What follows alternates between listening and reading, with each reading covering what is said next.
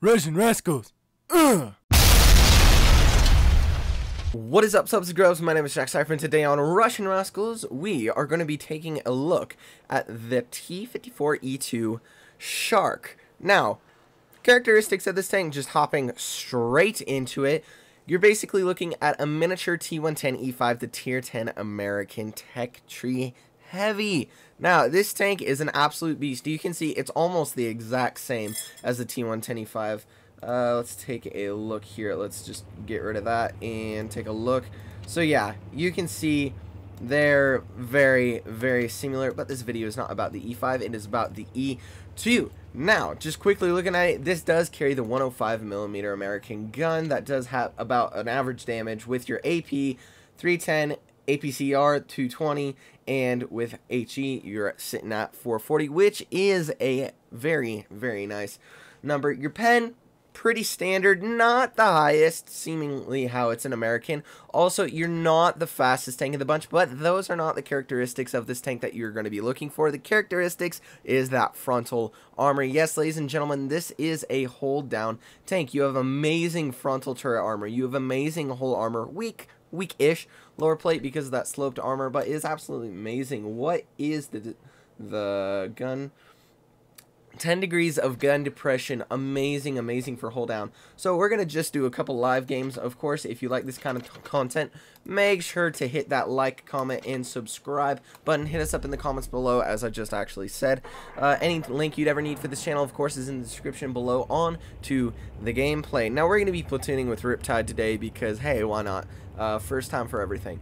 But anyways so this tank honestly is one of the i would like to say overpowered in its class. Like this went under people's radar when it came into Blitz and honestly it's kind of a shame because it's such such a strong tank. Now we're going to be pushing this A side of the map. If the graphics do look a little bit different, uh, my apologies. It's just messing around with different accounts and stuff. So anyways, just show you that gun depression right there. Look at that. And also the camo, I have to say the camo is looking pretty spiffy. Uh, I don't know what it is with Wargaming making a bunch of different camos with faces on them, but hey, I gotta say, they do a couple things right, especially with this one. Um, so anyways, we're going to be pushing on to the A side of the map. Of course, this is one of my favorite parts of this map. Not my favorite map in general, but we, we do make it work. Now, we can see that the enemy is in base B, which is going to allow us to know that they're probably not going to be pushing a whole bunch of tanks over here. Now, Rip is in the E6, or like how I like to call it, the Super Goose. So we are actually a very, very good duo when it comes to a hold down position due to the fact they are both very strong hold down tanks with that E6, no, the E1 having over, I think, 300, ooh, hello, 300 millimeters of, come on, 300 millimeters of frontal armor, but it's not about the E6 today. Today we're talking about the E2. So many different E's in the American lines. It's kind of actually funny. So J Panther over there, and we have a whole bunch of enemies over there. So I want to see if this J Panther is going to poke back for us, but I also want to see if we can get some shots into the enemy tanks over there. For instance, that FV301 not wanting to poke for us, so we're going to push over to help our buddy Rip over there. The Yag Panther does go down, but I want to stay wary of that Annihilator for the fact that gun is very deadly. I absolutely despise Annihilators. I hate seeing those things in games. Mainly when I'm in tier 6s, don't exactly mind when I'm at tier 8 because most tier 8s are strong enough to deal with them in the first place.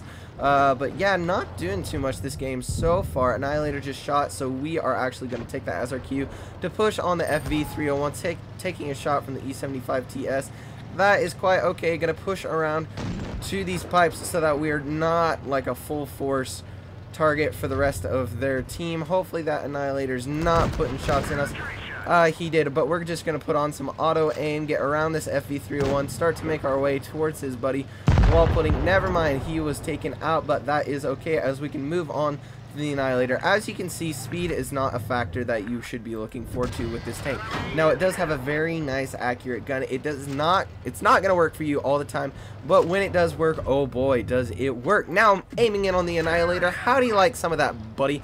At 1200 damage, respectable amount of damage, nothing big, nothing small. See if we can get one more shot. No, just miss it. Probably could have snapped him, but was not willing to take the chance. Uh, anyways, so yeah, I'm not sure what the credit coefficient's gonna go. Actually, yes, getting that snap. I know that was a risky shot, but I was willing to take it just to show you these this things on dispersion, messing up my words there a little bit. Uh, so yeah, we're gonna take out this Annihilator. I honestly don't even care if we get hit from but showing you now those amazing hold down skills with that awesome gun depression. Maybe able to get one more shot into the back of him. Not even to try the HE. Max roll into the back of him. I don't think that was our full on max roll, but we did well. 2400 damage is a very respectable amount of damage, getting us just the third class. Rip, you did a really good job. I'm not going to even mess with the American, the enemy team. We're going to do one more battle in it just to see if we can get another good game in it. Of course, Rip is going to be playing with us again because that is the fun of having a platoon, ladies and gentlefolk. So hit me up in the comments below if you have this tank. What do you think of it? I know Fishy really wanted to see this video, and we actually recorded a video on it, but the file, uh, it kind of corrupted. So sorry about that, Fishy. We'll get back to that thing. But anyways, so we're actually, I'm thinking we're going to push B. And you're like, Jack, you're a heavy, you don't push B. Well, let me explain. We're going to be pushing B mainly for the fact that we have that hold down capability. Now, if they go to that C side, we're getting out of dodge because they have complete open shots unless I'm hiding behind that little rock. But still, that makes it so they can just light me up. Now, if you do know me any bit, you know Canyon is my least favorite map. I absolutely despise Canyon for every for every single way you can think of. Now, good, we do have the Type 59, but that cheeky FV301 was able to get some nice little spots into us.